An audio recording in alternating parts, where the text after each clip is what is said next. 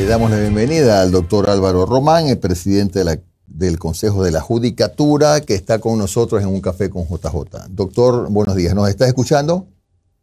Sí, sí, sí, le escucho. Gracias. Muy buenos días, doctor. Gracias, doctor. Una consulta para empezar, eh, para empezar esta conversación. Eh, ¿En su ánimo estuvo en algún momento eh, intentar optar por otro periodo de la presidencia de la Judicatura? Más allá de que ya sabemos pues, eh, los pormenores, lo que está pasando hoy, pero ¿estuvo en su ánimo, digo, la presidencia de la Judicatura? Eh, en ningún momento, Jamie, yo siempre he manifestado que soy un hombre democrático y que de acuerdo a la sentencia yo siempre estaba ocupando el cargo de presidente de el momento oportuno, una forma temporal, mientras se nombre titular. Eh, yo no le eh, hubiera querido mantenerme en el cargo, hubiera aceptado la opción de ingresar en la terna de que Eno, el presidente de la Corte Nacional, enviaba al Consejo de Ciudad. ¿no? Mi afán nunca es quedarme o eh, darme o un nuevo periodo, a ver si yo mantenerme en un nuevo Creo que eh, ciudadanos tenemos que asumir retos. En su momento oportuno se me presentó la oportunidad de asumir la presidencia en forma temporal, toda la responsabilidad y usted ve que en poco tiempo hemos eh, reconducido la situación tan golpeada y que entró en una crisis eh, tan profunda en el último momento.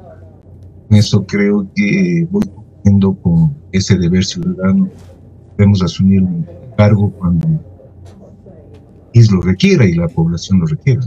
Doctor, eh, ¿por qué se ha constituido un tema tan complejo eh, esto de la renovación de los jueces? ¿A qué se debe, doctor? En complejo no creo. Y siempre eh, el asunto es que un concurso, como es un concurso abierto, pueden participar varias personas, a veces esas personas se sienten en un primer momento afectadas en sus derechos, pueden reclamarle, pero previamente, eh, si nosotros podemos observar, si usted se refiere más a la estructura del, curso, que en un primer momento se tuvo que a la nulidad por varias influencias de las, reglas del propio curso. Pues si usted Jimmy, que en un primer momento se hizo un, eh, el concurso, se hizo la convocatoria por siete jueces, después se redujo a, digamos, diez jueces, después se redujo ese número, lo que se dio el, tiempo de ciertos jueces, después hubo inconsistencias en cuanto de la prueba de confianza, después hubo, hubo inconsistencias en cuanto al resto de las fuera del término y a la es decir, y, después hubo esta insistencia que eh, encontramos ciertos funcionarios de la agencia de que pidieron una increíble de las preguntas la técnica. Es decir, estas inconsistencias nos llevó a qué? A establecer una nulidad y volver a dar nuevamente.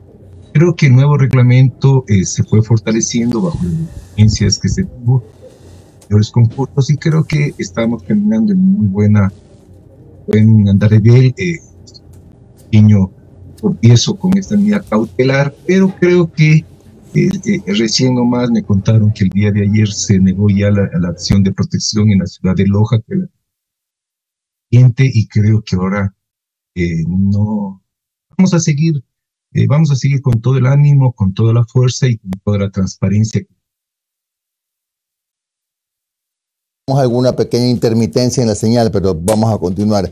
¿Cómo está el otro proceso de eh, la conformación de las cortes especializadas que fueron aprobadas en la consulta popular? ¿Le corresponde eh, a la judicatura organizarlas? Eh, entiendo que había un presupuesto, no sé si ya se los asignaron y se los entregaron. ¿Y en cuánto tiempo van a estar conformadas? A ver, eh, tenemos, tenemos otro concurso, Jenny. Acuérdese que tenemos un concurso de bancos elegibles. En eso el gobierno, por ejemplo, ya nos, nos, nos los 3 millones y 3 millones 800 mil dólares que requerimos ese concurso. sé que es para llenar todas las vacantes a nivel nacional de eh, las unidades eh, penales comunales, eh, jueces de tribunal penal, jueces de tribunal contencioso jueces de tribunal contencioso tributario y cortes superiores nivel nacional. Son más o menos para llenar posiblemente 547 de acuerdo al presupuesto que tengamos. Tenemos ya el presupuesto. Cuanto a la pregunta que usted me hace sobre los jueces constitucionales aprobados en la, en la última, encontramos que ya tenemos un pequeño estudio, hemos puesto socializado con el presidente de la Nacional y con el presidente de jueces de la Corte Constitucional, ellos nos retroalimentaron, estamos re, eh, diseñando ese, ese proyecto para poder lanzarlo. Pero en un primer momento habíamos dicho que necesitábamos solamente para forma distinta y con en total casi 85 jueces y más todo el, personal de apoyo necesitamos por lo menos unos 6 millones y medio para tener solo de gasto corriente, más falta la infraestructura, falta eh, los eh, ¿no? Si es que rediseñamos a una nueva, a un nuevo diseño que puede ser pasar de distritos a zonas, necesitaremos más dinero en cuanto al gasto corriente. Eso todavía el gobierno no los ha asignado. ¿Por qué? Porque la implementación, conforme vayamos estableciendo los, el cronograma, ahí pues, el gobierno para que eh, asigne los, tanto para el concurso como para el Doctor, buen día. Omar Jaén le saluda. ¿Cómo está? Gracias por su tiempo, doctor. ¿Cómo le va? Doctor, eh, consulta, recuérdeme si dentro del anexo de la pregunta de la consulta popular ustedes tenían un plazo límite para poder cumplir. Por ejemplo, la Asamblea tiene 60 días para cumplir el tema de, las leyes. En el caso de ustedes, para instaurar estas, estas salas especializadas, ¿tienen un tiempo límite? Tenemos un año para organizar. Ok. okay. Eso dice el anexo, un año para organizar. Es decir, no los están poniendo como un límite hasta un año, ¿no? Diríamos, tienen un año para organizarlo, entonces eh, en ese año nosotros tenemos que ir planificando conforme, como ya conversamos con el ministro de Economía, eh, de Finanzas y Economía, con él ya le establecimos la necesidad y él está estuvo muy sensible ante esa situación y habíamos dicho que como es mandato popular tenemos que cumplir porque si no nos diríamos ya acción que tenemos permanente, ¿no? Yo creo que el ministro está con toda la, con toda la predisposición para poder. Y como los fondos tienen que ir, eh, digamos, eh, eh, conforme vamos solicitando, no creo que haya problema. Ah, el gasto corriente será para el año siguiente, el año 2025, que hay que presupuestarlo en el 24, el 25, y con eso no creo que tengamos inconveniente de, de esta Además, Omar, acuérdese que nosotros lo organizaríamos y ya posicionarían el siguiente en el siguiente periodo. Oiga, doctor, y con respecto a este tema de las áreas especializadas, ¿cómo sería la elección o selección de las personas a cargo de esas salas especializadas? Y usted sabe que hay, hay, un gran temor de la población, ¿no? La infección que puede generar la política en concursos de jueces. Hay, hay un temor real y cómo podemos evitar que también la selección de esos jueces que van a estar a cargo de esas salas especializadas no sean predispuestas por movimientos políticos o por el gobierno o por poderes. ¿Cómo sería la selección de los jueces especializados? Bueno, primero hay un, eh, eh, eh, para evitar esa injerencia, lo primero que debe haber es que los tales del Consejo Electoral no respondamos a, por ejemplo, si digo que o puedo que coordinar con las instituciones, pero no puedo ingerir en otra ni ingerir en Creo que esa es la primera, la primera muestra de transparencia y de espíritu democrático, es decir, puedo colaborar, pero no puedo intervenir en la otra. Segundo, eh, segundo garantía me parece que es el concurso abierto, en donde pueden participar cada eh, las, las, están aptas en la Tercero sería la estructura del reglamento en cuanto a que eh, vengan, eh, digamos, personas que tengan, eh, no sean idóneas tanto como expertos como los. Creo que la garantía está también en los expertos, ¿no?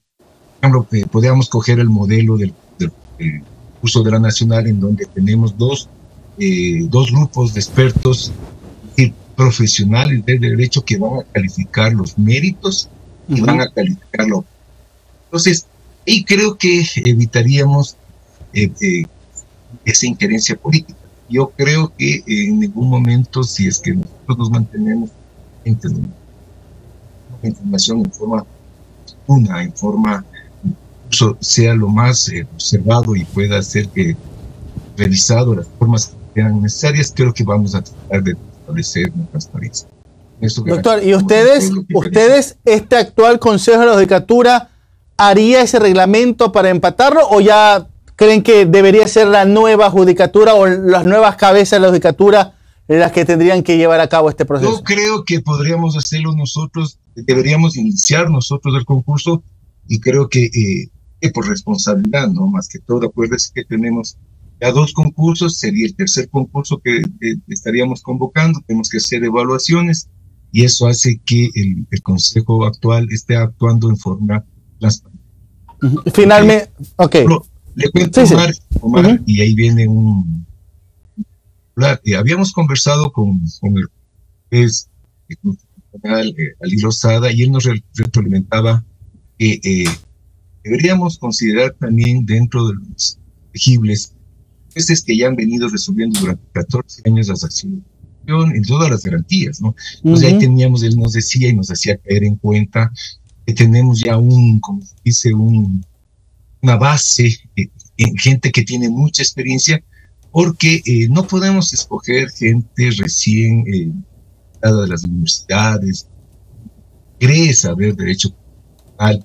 ¿Te acuerdas que el juez constitucional no solo resuelve materias constitucionales, sino que están relacionadas con la cuestión, pero en la constitución tenemos en, la propia Constitución tenemos materias de niñez, materias de los vulnerables, tenemos materia materia mercantil, materia es decir, la Constitución nos desarrolla que el juez no debe ser solamente concentrado en constitucional, sino que debe manejar todas las áreas del derecho, es decir, penal, administrativo, mercantil, eh, tributario, eh, es decir, tiene que ser un juez de altísima calidad, ¿no? Entonces, no es cualquier juez.